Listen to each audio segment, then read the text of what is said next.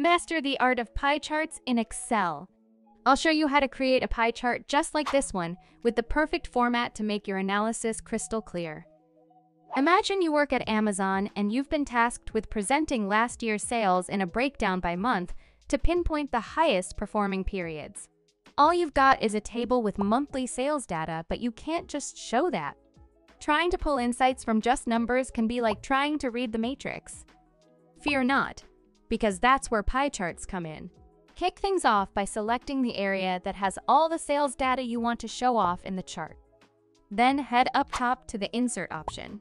Click it, and you'll spot a pie chart symbol in the Chart section. Go ahead and click on it. Dive into the pie chart options, and you'll find several choices.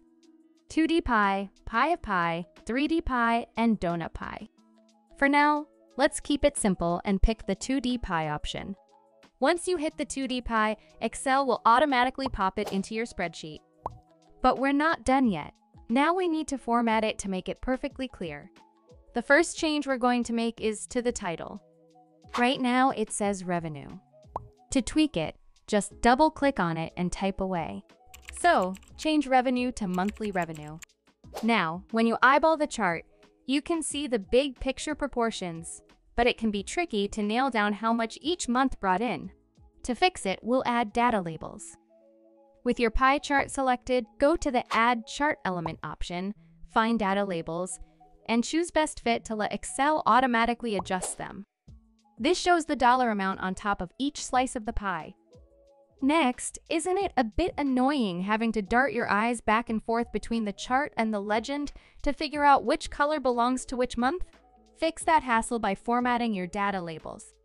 Right-click on the labels, choose Data Label Format, and then opt to insert the category name, which in this case is the month.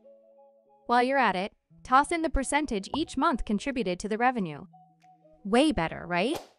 In fact, you don't even need the legend now, so feel free to kick it to the curb by hitting the backspace key. Before we continue, if you haven't already, hit the subscribe button because every week I'm going to be giving away a complete Excel course valued at $297 randomly to 10 of my subscribers.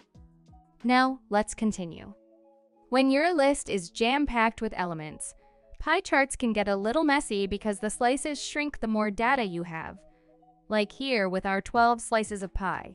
In these cases, I'd recommend switching the chart type to a pie of pie. Check this out.